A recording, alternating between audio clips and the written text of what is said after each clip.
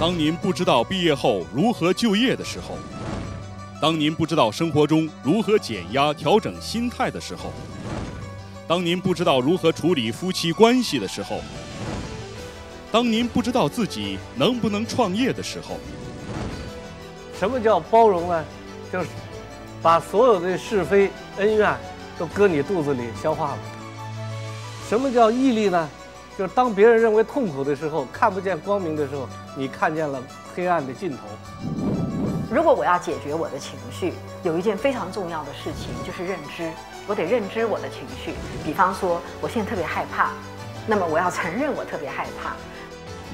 作为一个真正的领导者，他的目的不是要成就自己，他要成就他的伙伴。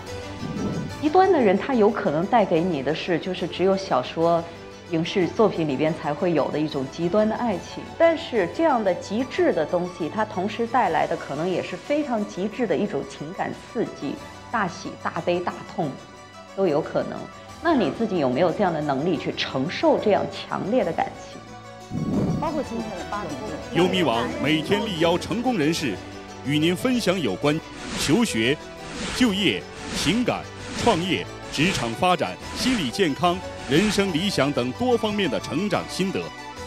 优米网特别制作问答节目《在路上》。陶思璇，情感心理专家，对情感关系、女性问题有十几年的调查研究。对于亲密关系、亲子教育有丰富的咨询经验和认识，同时他还是家庭治疗师、国家心理咨询师、情感关系专栏作家、中国单身女性网 CEO。本期节目，陶思璇与您分享爱情与婚姻的关系。从恋爱到婚姻，你准备好了吗？婚姻一定是一段美好爱情的最终归宿，但是恋爱不见得就是为了婚姻，恋爱可以有很多的原因。你可以只是为了想要去体验一种感情、一种关系，就去找一个合适的人谈恋爱。但是这个人未必适合婚姻，因为婚姻是涉及到两个家族的问题，而且他会有很多很现实的，比如说你们的价值观，你想住什么样的房子，他想住什么样的房子，你一个月的开销是多少，他一个月的开销是多少，所有这些问题在恋爱的时候它是不会构成一个太大的障碍，但是在婚姻里边一定会。包括今天我在看我自己的微博，还得有很多人写说他乱丢袜子，然后他的衣服从来不洗，从来不做家务。我们会挑生活中的非常多的细节去责备对方。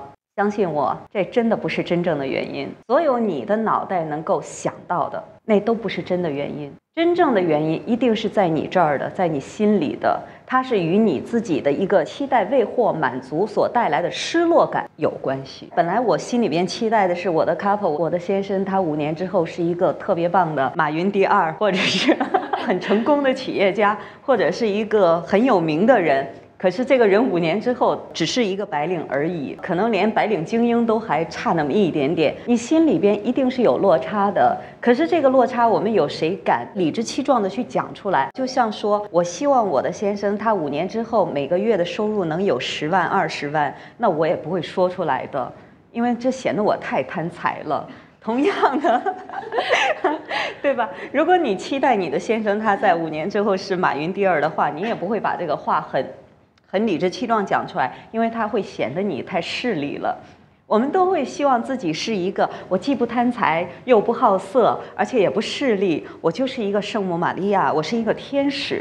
我们每个人对自己都有这样的一个期待，男人也一样。我会期待我是上帝，我是耶稣。可是实际上我们都是做不到的。我们都是吃五谷杂粮长大的那个人。一个人加上五谷的谷是什么？俗。我们就是一大俗人，我们内心就是天生的有一些不安全感，而这些不安全感，我们会需要用外在的东西来给予补偿，这就是人。所以你只有去面对了这些，并且能够两个人达成一致，我们来协商。我希望你成马云，可是你告我我成不了，那 OK 没问题。你告诉我你能成什么？我们来取一个中间值，我也能接受的，你也能接受的，这个问题就算放下了。它才是真正的解决了。那么其他的问题也是一样的，比如家是什么，它是做什么用的？对我来说，家就是一个让我休息的地方。我我很不喜欢带人去我的家里边，我也拒绝养一切宠物。别跟我谈爱心不爱心这件事，我讨厌我的家里边飞的到处都是那个狗毛猫毛的，因为我有那个过敏症，我是不允许这件事在我家里发生的。可是。那如果我谈了一个男朋友，他是超级热爱小动物的人，怎么办？他在家里可能养了四条狗、七条猫，那怎么办？那就要来协商。如果我们谈恋爱，这是没有问题的事情，你住你那儿，你养成动物园没问题。但结婚这就是问题，那我们就要来探讨，可不可以其中的有一方放弃，或者说有没有一个中间协调值？如果没有，那就你再找一个合适你的，我们可以做朋友。如果说中间有可协商的地方，我们就来协调解决这个问题。记得我之前写过一本书，我在里边写过一句话：爱情是一只没有脚的鸟。落地就会死亡。一般少男少女呢谈的恋爱都是这种状态，就是漫天飘的，呃，完全不着边际。这样谈也是没问题的，挺好的，这是一种体验。但婚姻是一定要落在地上的。那么所有这些很具体的问题，包括衣服。我喜欢什么样的着装风格？你喜欢什么样的着装风格？你每天要吃什么样的东西？我每天要吃什么东西？就是这些俗的不能再俗的事情，它决定了我们的婚姻质量到底会过成什么样。与极端的人结婚会有什么后果吗？极端的人会给你带来的是完全不一样的一种生活状态，他有可能带给你的是就是只有小说、影视作品里边才会有的一种极端的爱情。但是这样的极致的东西，它同时带来的可能也是非常极致的一种情感刺激，大喜大悲大痛，都有可能。那你自己有没有这样的能力去承受这样强烈的感情？我觉得这个才是你要考虑的，而不是说我是不是要找一个极端的人，或者说我就是一定要避着极端的人，这个都不重要。我今天突然想起我的两个女朋友，就她们两个都是非常极端的人。一个为了爱情自己周游列国，到现在还不知道在哪个国家飘着，我们都没有了她的消息。另外一个也是，她男朋友是英国人，然后那个说是要来中国找她结婚，结果出发的前一天晚上就突然病故。那我这个女朋友就一个人跑到英国去。呃，住在那个男生的家里边，然后就跟国内所有的朋友什么都断了联系。你们每个人，包括今天呃在场的咱们所有的朋友，真的不用去条条框框的拘束，说一定要那个爱情就浪漫的不着边际，一定要浪漫至死，真的不一定。生活是很多种多样的、多姿多彩的。你看你自己，你想要什么，这才是最重要的。如果说。钱对你就是一个非常重要的事情，去傍大款，去找有钱的人。如果说我就是一个一定要那种激情，要那种今天见不着他，明天我就要去死，你就去找那样的一个人去谈这样的轰轰烈烈的恋爱没有问题。但是如果说我是一个，我只想要一个人陪着我，我们可以牵手共度，过马路的时候他能走在我旁边。然后他下班回来了，我能给他倒一杯水，这样的生活，我们可以一起去菜市场去买菜，去跟人家讨价还价，这就对我来说就是生活的快乐。你就去找这样的生活，没有什么样的状态一定是对的或者错的，但是这是不是你想要的，这个才是最重要的部分。包括今天的八点钟，优米网每天力邀成功人士，与您分享有关求学、就业、情感、创业。职场发展、心理健康、人生理想等多方面的成长心得。无价值感是摧毁我们的一个根源。我们做的很多很多的事情，都是要为了证明我是有价值，而不是无价值的。包括我们拼死的要别人来爱我们，也是要证明我是值得被爱的。优米网特别制作问答节目，在路上，奔着结婚而去谈恋爱，可取吗？当你在恋爱的苗头刚有的时候，就奔着结婚而去的话，这个恋爱一定会歪的，就它一定会变质的。你赋予了爱情太多的包袱。我们在一开始的时候，这是很盲目的一个决定。当然，你有这样的美好愿望是对的，可是它真的不是一定要去到的，而更加不是每天我要念叨的事儿。你想，你刚认识一个人，就像这位这个穿湖蓝色 T 恤的戴眼镜的先生，我看见他，我觉得第一眼的印象，帅哥，对，对，第一眼感觉很好，我很愿意跟他交往。可是你怎么就知道这个人是你适适合你一辈子的一个丈夫啊？这太不负责了，对不对？你不能在一开始就是说，我们就要奔着结婚。呃，我们就是一定是要为了结婚才走在一起的，错了。我是因为我喜欢这个人，在当下这一刻，我很喜欢他，我很喜欢跟他在一起的这种感觉。我要去了解这个人适不适合和我在一起，建立一段很严肃的、很长期的关系。